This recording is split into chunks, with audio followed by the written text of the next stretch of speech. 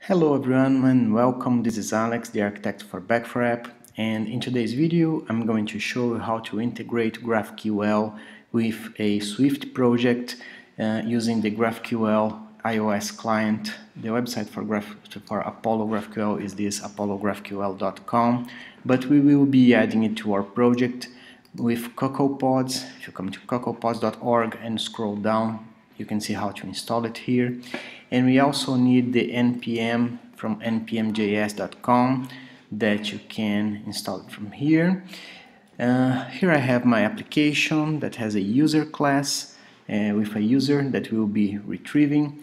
If you want to read all this information I'll show you on the video. You can come here to help guides and here on the left side you'll see the use GraphQL with Swift and there are all the steps that you have to do here. So first thing that I'll have to do is open my Xcode and create a new Swift project. So create a new Xcode project. I'm going to choose a single view app and give it a good name, so my GraphQL app. Make sure the language is Swift and I'm going to save it on my desktop.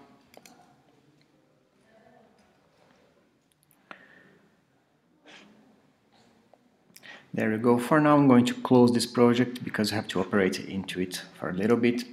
So if I go to my Finder and desktop you will see I have my GraphQL app in here with my Xcode uh, project in there.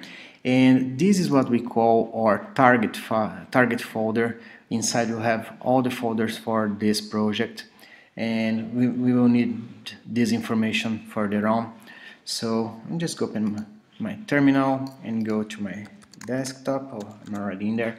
And going to enter this folder here. My GraphQL app.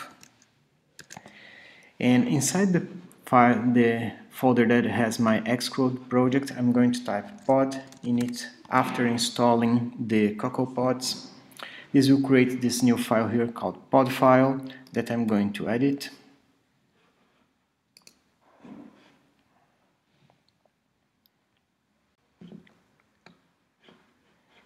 And I'm going to choose my Visual Studio for this.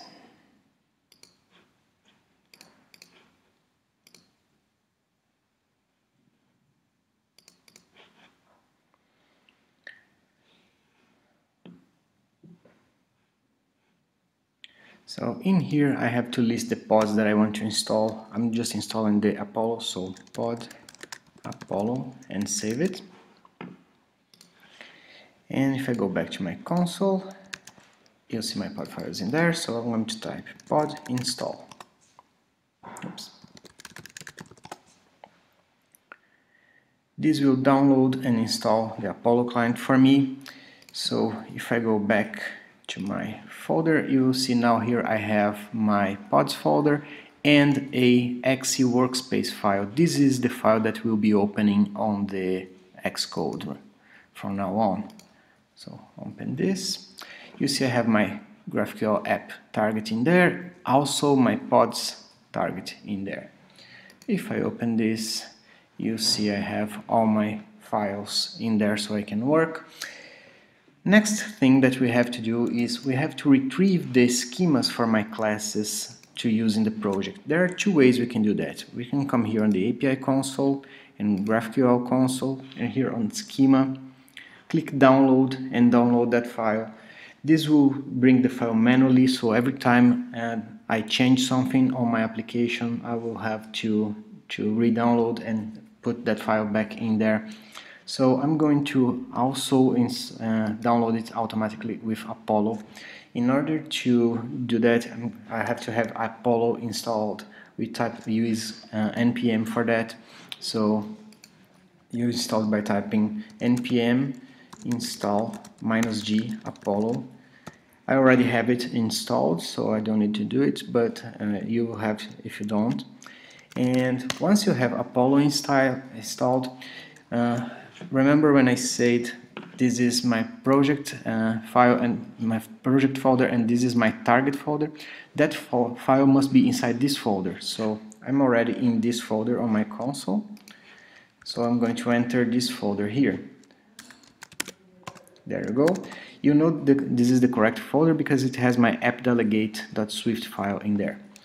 And from my guide on our website there is a command that you can copy and paste that will retrieve that uh, schema file for you. All you have to do to do is change your app ID and your master key. So I'm going to paste it that in here and change my app ID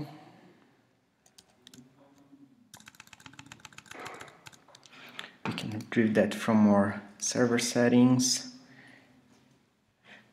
core settings.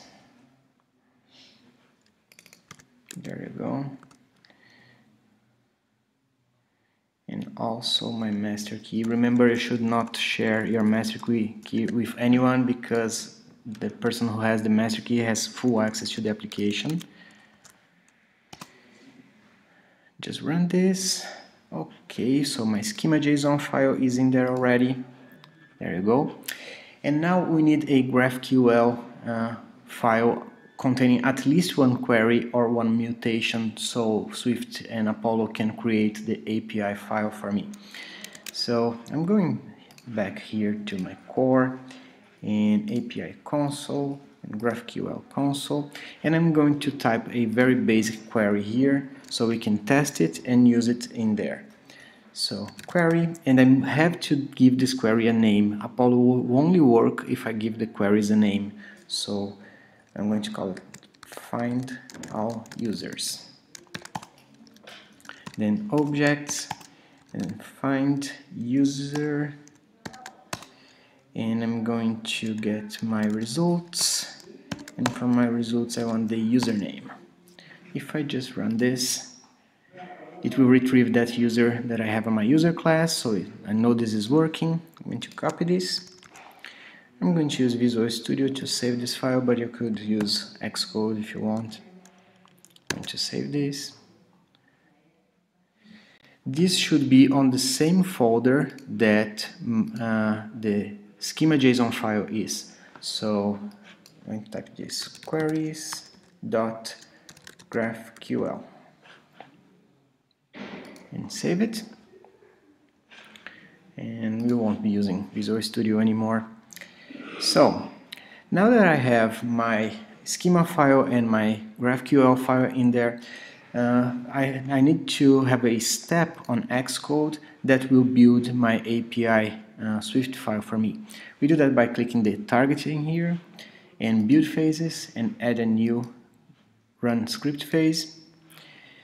Going to rename this to GraphQL step. And we have to drag and drop it over the compile sources because this has to happen before you compile your sources. I'm going to open this and back to our guide. If you scroll down a little bit I have put the script that will be needed here. This will just uh, generate based on your GraphQL file and the schema.json file your API Swift file so I can just copy it and paste it in here and that's pretty much all we have to do so I'm going to close this and go back to my app delegate and now what we can do uh, is compile and see if my API file will be generated so we know everything is working. So I'm going to type command B so it will build.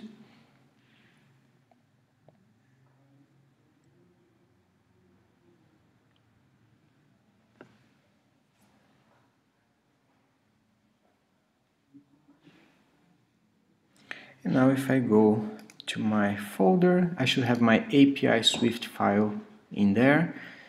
So we know it worked. Now I have to drag and drop this file and into my target. Make sure the copy items if needed is unchecked because the file is already there. So finish. And now we are ready to use our uh, queries into our Swift project. So I'm going to go to my viewcontroller.swift and import Apollo. And now I have to configure the client and call the code from there. So I'm going to back to our guide. And in here I'm going to scroll down. And I have all the configuration in here. All you have to change your app ID and your client key to copy this and go back to our Xcode paste that in here. So I'm going to need my app ID and uh, key again. I'm going to retrieve that from our website. You can also get it from here. So this is my application ID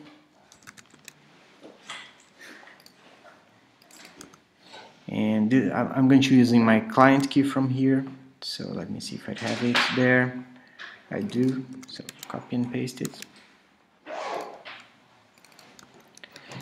And now here inside my viewDidLoad I am going to paste the second part of my code that only calls the find all users query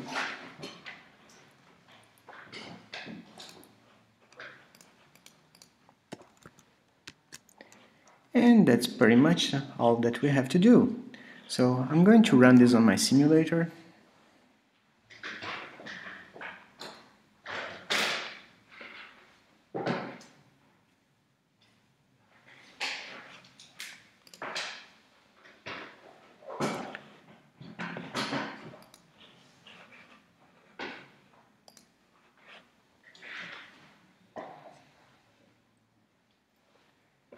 This is just my firewall. And as you can see, my result was retrieved in there. So this was a very simple uh, video just showing you how to integrate it and use it on your project. We will have further videos showing deeper uh, into GraphQL with Swift soon. I hope you enjoyed